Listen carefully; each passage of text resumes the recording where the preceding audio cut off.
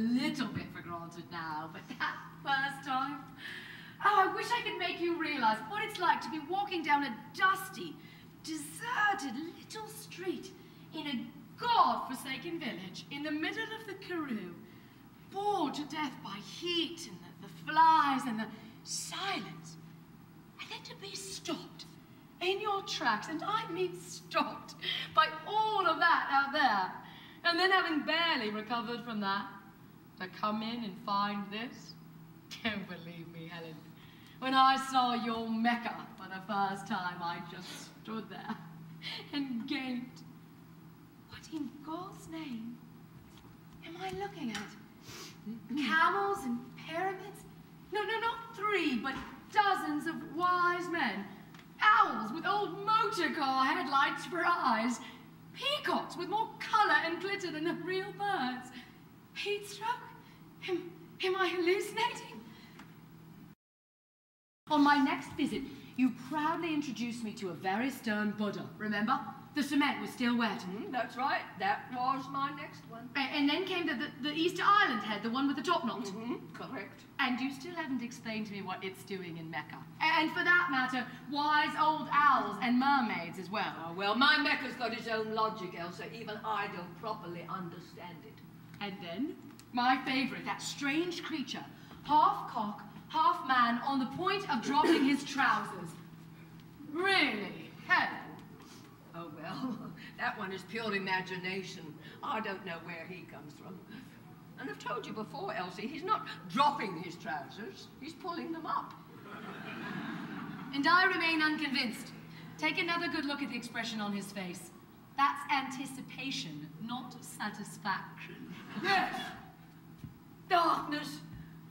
The darkness that nearly smothered my life in here. One night, 15 years ago. The same darkness that used to come pouring down the chimney and into the room at night when I was a little girl and frightened me. If you still don't know what I'm talking about, blow out the candle. But those darknesses were easy to deal with. This one is worse. Much worse. It's inside me, Elsa. It's got inside me at last, and I can't light candles there. I never knew it would happen. I thought I was safe. I had grown up and I had all the candles I wanted. That's all a little girl could think about when she lay there in bed at night, trying to make her prayers last as long as she could, because she was terrified of the moment when her mother would bend down to kiss her and take away the candle. To be very frank, Helen, it's your manner which now keeps people at a distance. I don't think you realize how much you've changed over the years. You're, you're not easily recognizable to others anymore as the, the person they knew 15 years ago. And then your hobby, if I can call it that, hasn't really helped matters. This is not exactly the sort of room the village ladies are used to, or would feel comfortable in having afternoon tea. And uh, as for all that out there, the less said about that, the better. I don't harm or bother anyone, Marius. But does anybody do that to you? Yes, yes, everybody's trying to force me to leave my home.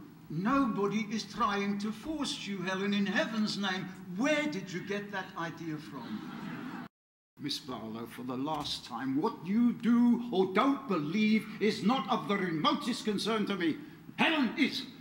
My concern is that she gets a chance to live out what is left of her life as safely and as happily as is humanly possible. I don't think that should include the danger of her being trapped in here when this house goes up in flames.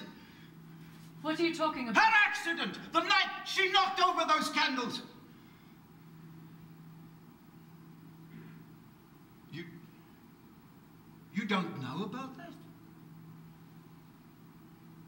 When was it, Helen? Four weeks ago.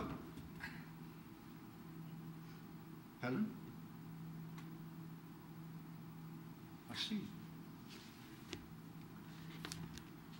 You didn't tell your friend about your narrow escape.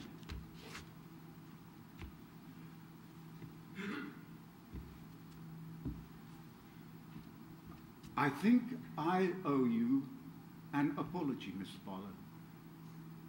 I, I assumed you knew all about it. You owe me nothing. Just tell me what happened. I know my little Mecca out there for what it really is. I had to learn how to bend rusty wire into the right shape and mix sand with cement to make my wise men and their camels. How to grind down empty beer bottles with a coffee mill to put glitter on my walls. My hands will never let me forget. They'll keep me sane. This is the best that I could do, as near as I could get to the real maker.